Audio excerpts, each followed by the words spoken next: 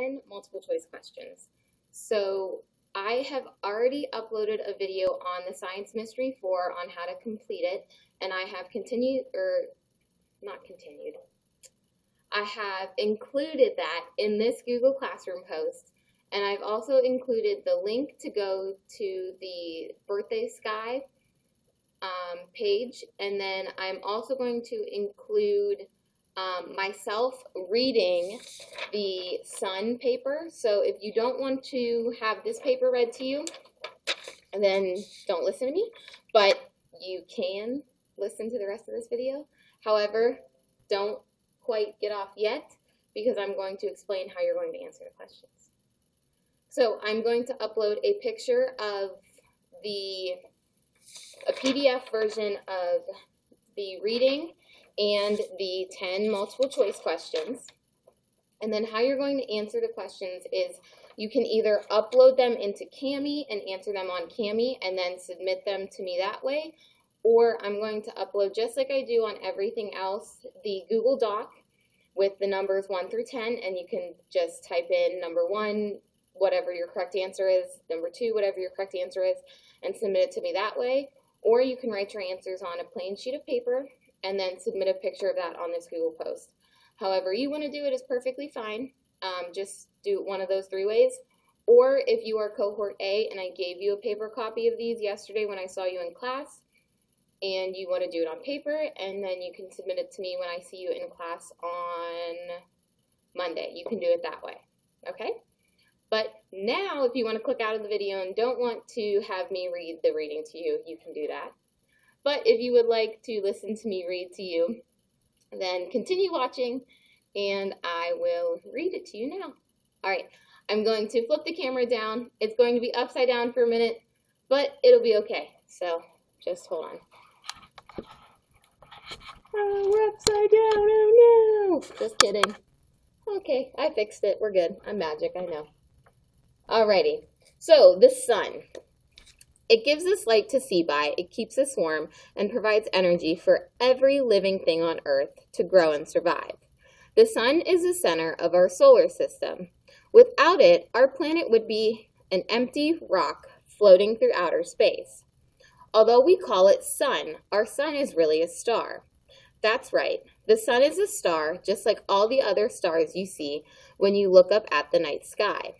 It appears much larger, larger than other stars, but that is only because it is so much closer to us than they are.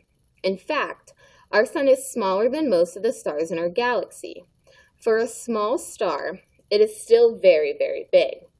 The sun is 865 miles, that's 1,392 kilometers wide.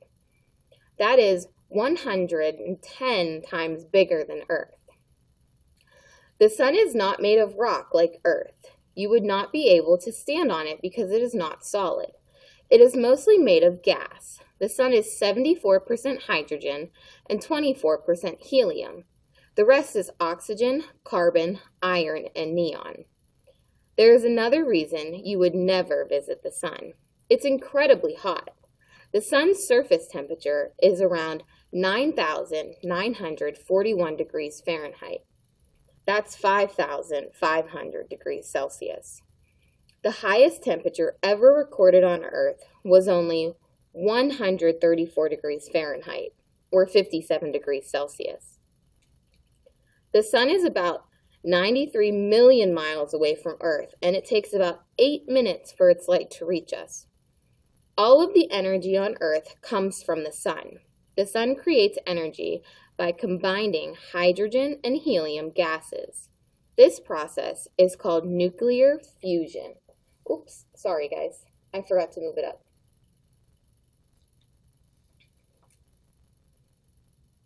So um, I just read this part right here about nuclear fusion.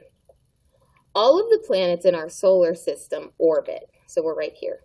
All of the planets in our solar system orbit or rotate around the sun. Oh, they used the wrong word. What word should go here? If they orbit, they... What word should go there? Revolve. It should be revolve. Because remember, rotate means it's spinning. Revolve means it goes around. Good job. This happens because of the sun's gravitational pull. The law of gravity says that smaller objects will be pulled towards larger objects. This pull is what keeps our feet on the ground. The Earth's gravitational pull keeps us from floating off its surface into space. The sun's gravitational pull keeps all the planets in line. All right, now that we are done reading, I'm going to go ahead and take the questions and I'm going to read the questions to you. Okay? So, number one, why do we need the sun? A, it gives us light. B, it keeps us warm. C, it provides energy. Or D, all of the above. Number two, true or false? The sun is the center of our galaxy. True or false? Number three, the sun is really a star. True or false?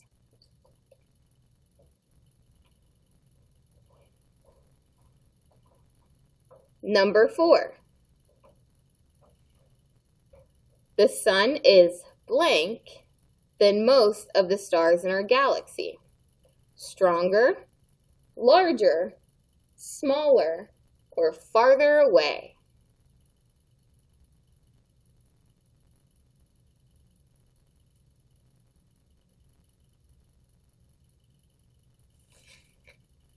Number five. Why would you never be able to visit the sun? It's too hot. It is made of gases. It is too small. Both A and B. Number six. The sun is mostly made of hydrogen, helium, oxygen, neon. Now it's made of all of those, but what is it mostly made of? So what is it made the most of? Number seven. Fahrenheit and Celsius are both units for measuring temperature, distance, time, or weight. Number eight.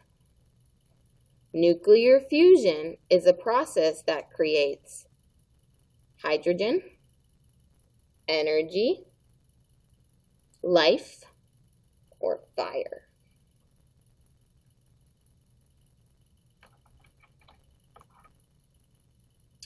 Number nine. Which word has a similar meaning to the word orbit? float, bounce, rotate, or hover.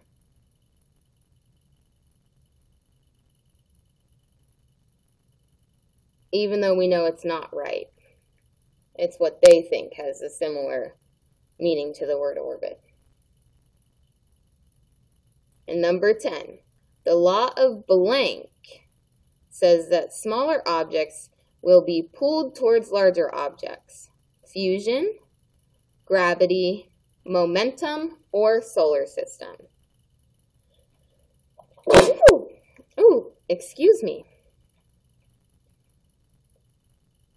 Alrighty, go ahead and pause the video at any time. Go back, listen to me read it again. Go back and listen to me read any of those questions.